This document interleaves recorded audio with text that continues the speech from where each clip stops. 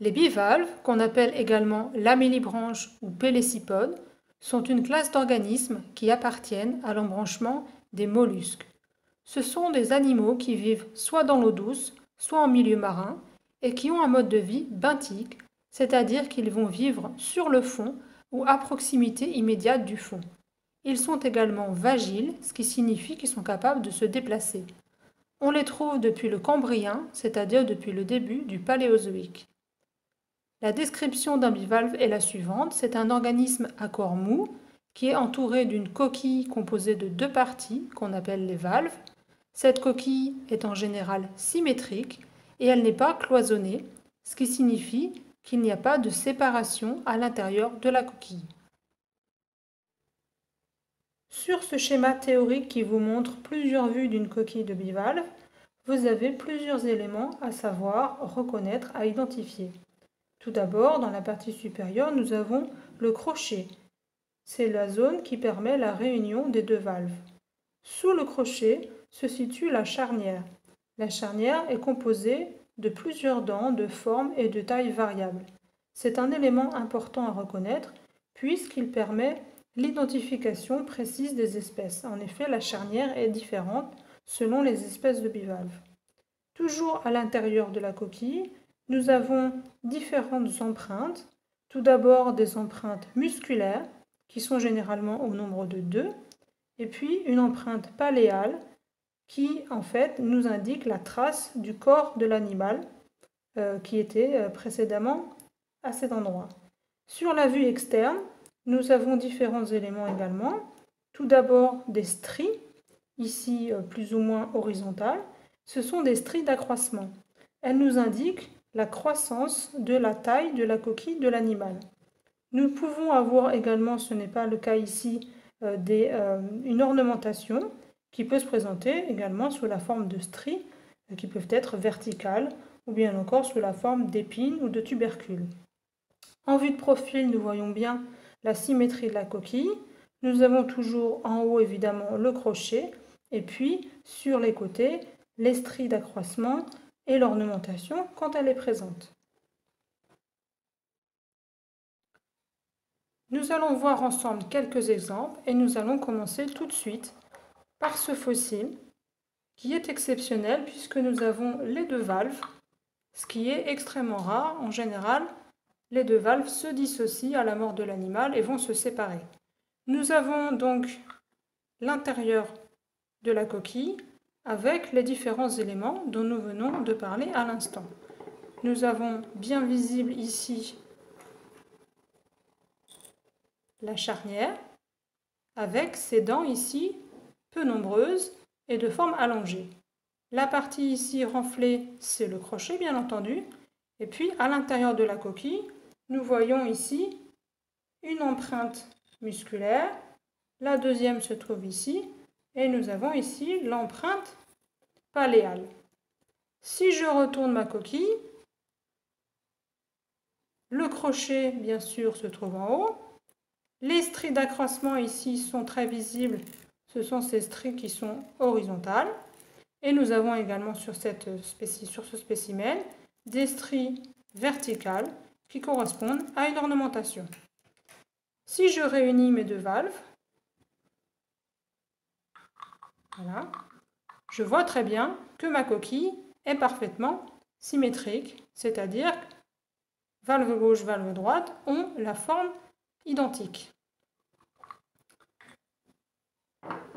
Une seconde espèce ici vous montre les mêmes éléments, avec toujours la charnière composée ici de dents peu nombreuses et de forme allongée, le crochet, les deux empreintes, l'empreinte paléale, et quand je retourne ma coquille, des stries d'accroissement qui sont ici un petit peu plus difficiles à observer, et puis des stries verticales cette fois-ci, qui correspondent à une ornementation et qui sont bien marquées sur cette espèce.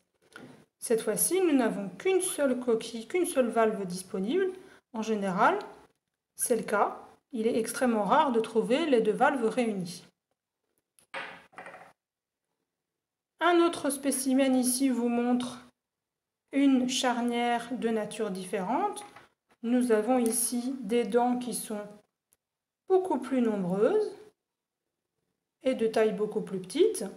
Et donc ce critère nous permet d'identifier les espèces euh, de façon appropriée. Ce n'est pas le seul critère qui permet d'identifier, bien entendu, il faudra également étudier la forme de la coquille, son ornementation ou encore les empreintes. Nous avons dans euh, euh, ce spécimen toujours deux, deux empreintes ici musculaires, l'empreinte paléale ici, et puis à l'extérieur, les stries d'accroissement et une légère ornementation sous la forme de stries verticales.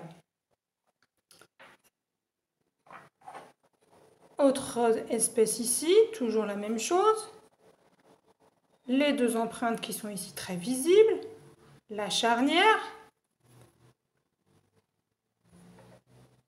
l'empreinte paléale, et si je retourne ma coquille, des stries d'accroissement très bien marquées, mais cette fois-ci, aucune ornementation. Autre exemple ici, cette fois-ci nous avons les deux valves réunies. On voit très très bien la symétrie de la coquille. Mais dans ce cas-là, bien entendu, il n'est pas possible d'observer l'intérieur puisque les deux valves sont réunies. Donc nous avons seulement ici le crochet, les stries d'accroissement et l'ornementation qui est bien visible, bien marquée.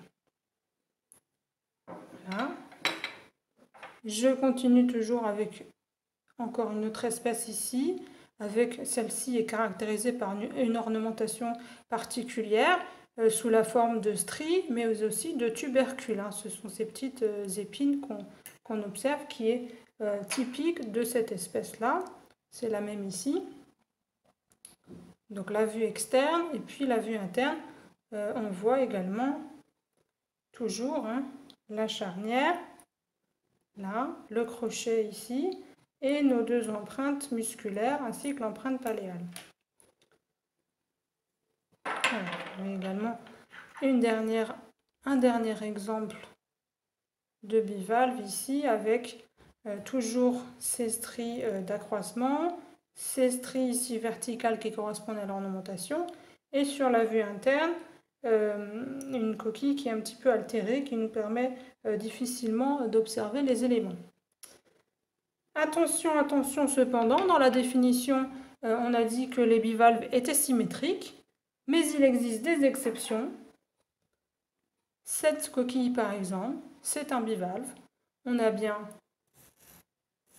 une euh, ornementation, des stries d'accroissement, un crochet, mais si je retourne ma coquille, évidemment, cette espèce n'est pas du tout symétrique. Donc on a une valve de grande dimension qui est bombée et une valve de petite dimension qui est aplatie. Donc c'est pas un cas fréquent, c'est relativement rare chez les bivalves, mais il existe des espèces qui ne sont pas symétriques. Attention à faire bien la différence avec un autre organisme qui fait partie également des organismes à connaître. Euh, nous avons ici la, commissure, c'est-à-dire la zone de fermeture entre les deux valves qui est euh, horizontale, ce qui est différent de ce qu'on verra chez les brachiopodes. Autre exemple également d'organisme qui n'est pas symétrique, cette espèce, c'est une huître, hein, c'est ce qu'on appelle un ostréidé. Euh, c'est euh, une espèce qu'on rencontre encore euh, sur les côtes de nos jours. et donc cette espèce n'est pas du tout symétrique. On a une valve qui est très bombée ici, et puis une valve de l'autre côté qui est, creuse. Et donc on a une dissymétrie qui est marquée. Mais attention, regardez la fermeture des deux valves, elle est toujours bien horizontale. Donc on voit bien sûr le crochet, les deux valves, les stries d'accroissement ici, mais on n'a pas accès à la vue interne de la coquille. Ici, c'est la même espèce, mais euh, une, un spécimen qui est beaucoup plus petit, donc avec cette grosse valve bien bombée, ce crochet ici euh, proéminent, et puis ici la valve inférieure est manquante, euh, mais on devine bien sûr une, forte dissymétrie.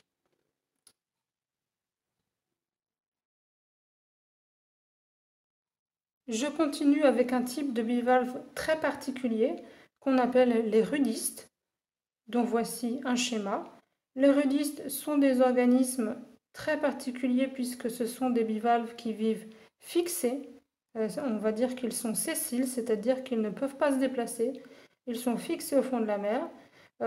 autre caractéristique, ils possèdent une coquille qui est très dissymétrique, avec une valve très allongée qui est fixée au fond de la mer, et puis une valve supérieure de petite taille qui sert en fait de couvercle euh, qui va permettre euh, l'ouverture de, de, la coquille. Et donc cet organisme, qui n'existe plus actuellement, euh, était typique des mers chaudes peu profondes et vivait également en colonie, ce qui est vraiment particulier puisque habituellement les bivalves ne vivent pas en colonie. Donc vivaient dans les mers chaudes peu profondes et ces organismes ont disparu à la fin du Crétacé. nous avons tout de suite quelques exemples de rudistes, malheureusement assez peu nombreux. Donc celui-ci,